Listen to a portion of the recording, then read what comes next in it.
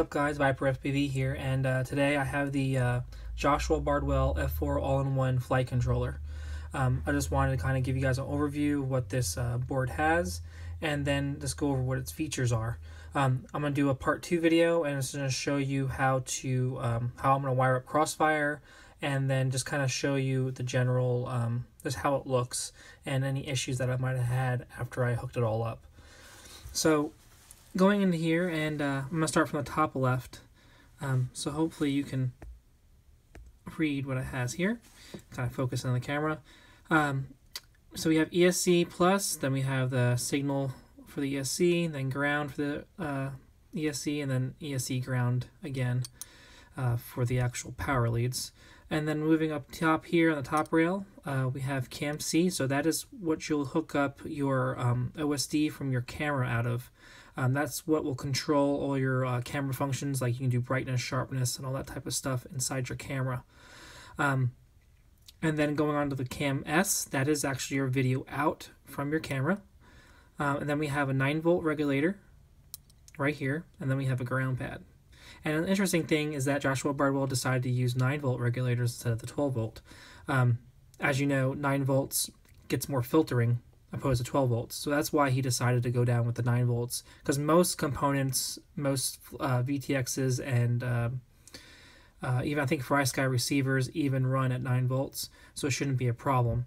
Um, now moving down here, we have a dedicated telemetry pad. Then we have SBus for all the um, you know XSRs and uh, RXSR uh, receivers. Even uh, if you want to run iBus, that's where you would hook it up at. And then we have the option here on the next pad 3.3 volts or uh, 5 volts. And uh, that's for if you have a Spektrum receiver, all those Spektrum uh, receivers, satellite receivers, do use 3.3 volts. Um, and when we get to the back of the board, I'll show you how to just how you can uh, pick either 3 volts or 5 volts. Um, and then we have uh, a UART 6 right next to here. And as you notice too, um, you don't see a, a transmit 6 uh, because the S-Bus pin is out on is I guess technically your transmit six, but you're using it as because it has an inverter on it. Um, and then we have the basic ESC hookups right here, and then um, same thing on the bottom left. We have the ESCs right here to hook them up, and then moving on top of here, um, we have an LED pin, and then we have the ground, and then we have receive uh, UART 4 right here, buzzer minus, uh, buzzer positive, and then we have our video um, out. Uh, so that'll be coming out from the OSD. This will be what you hook up your VTX to. Uh, for the yellow wire, usually that's what it is. And then we have the 9 volt um, pin here, regulator. I believe the regulator on this board is uh, 1.3 or 1.5 amps. Um, so you have to look into that. Um, and then we have a ground, and we have transmit 4. Um, and then we have the ESC uh, hookups right here again. And then the USB cables on the side. As you notice, the it's front facing right this way. Now flipping the board over,